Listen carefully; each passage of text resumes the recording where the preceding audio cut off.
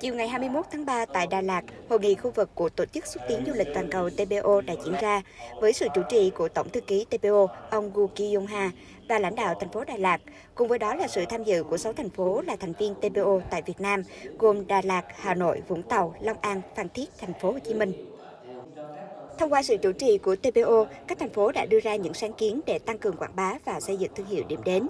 để từ đó có những liên kết trong hoạt động du lịch, hướng đến khai thác hiệu quả trên thị trường quốc tế. Tại hội nghị, các diễn giả thuộc các thành phố thành viên của TPO tại Việt Nam, thành phố Busan, Hàn Quốc đã trình bày các tham luận giới thiệu, quảng bá về tiềm năng, thế mạnh phát triển du lịch, các sáng kiến, giải pháp nhằm nâng cao hiệu quả quảng bá và xây dựng thương hiệu điểm đến, đồng thời đưa ra những mong muốn kết nối hợp tác phát triển du lịch. Thời gian tới, để tạo đột phá hơn nữa trong liên kết, hợp tác giữa các thành viên TPO, lãnh đạo thành phố Đà Lạt kiến nghị cần có những cam kết cụ thể, chương trình hành động chi tiết với các thông điệp mới, ấn tượng để thu hút du khách, đồng thời coi trọng bồi dưỡng đào tạo chuyên môn cho nhân lực trong lĩnh vực du lịch, tăng cường ứng dụng công nghệ thông tin, chú trọng bảo vệ môi trường. Lãnh đạo thành phố Đà Lạt mong muốn sẽ tiếp tục được mở rộng quan hệ với các thành viên trong mạng lưới TPO để quảng bá du lịch, gia tăng các giá trị sản phẩm địa phương. Thành phố Đà Lạt của chúng tôi thì tham gia tổ chức ờ, TPO từ năm 2019. Vậy là qua 6 năm là tổ chức thành viên thì thành phố Đà Lạt thì ờ, cũng tích cực triển khai các cái nội dung Ờ, thuộc trách nhiệm của một thành phố thành viên. và Trong đó thì ờ, thành phố chúng tôi cũng chú trọng vào những cái công việc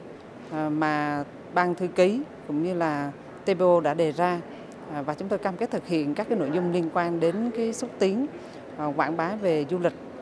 đặc biệt đó là về cái quảng bá về cái văn hóa con người, các cái thế mạnh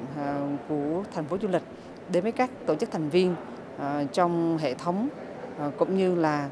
ờ, các tổ chức quốc tế người ta cũng sẽ biết đến nhiều thành phố Đà Lạt. Hơn nữa ờ, thông qua việc nhập tổ chức TPO. Và năm nay thì thành phố Đà Lạt chúng tôi cũng rất là vinh dự được TPO chọn là thành phố để tổ chức hội nghị thường niên định kỳ. Và từ đó thì có sự kết nối gắn kết giữa các thành viên trong hệ thống của TPO và chúng tôi sẽ tích cực tham gia các cái cam kết các cái hoạt động Ờ, xúc tiến về cái quảng bá du lịch à, và thúc đẩy cái ờ, liên kết hợp tác ờ, trong lĩnh vực du lịch của thành phố Đà Lạt với các cái tổ chức thành viên của TPO. Trong khuôn khổ hội nghị, diễn giả đến từ Hiệp hội Du lịch Lâm Đồng Đà Lạt đã chia sẻ về những hoạt động liên kết liên vùng nhằm xây dựng cơ chế để xúc tiến, xây dựng giá trị thương hiệu của một điểm đến vươn ra khỏi biên giới của quốc gia. Tại hội nghị, ban tổ chức cũng lấy ý kiến đóng góp của các đại biểu về những sáng kiến sắp triển khai của TPO nhằm hỗ trợ các thành viên phát triển kết nối để xúc tiến du lịch của địa phương.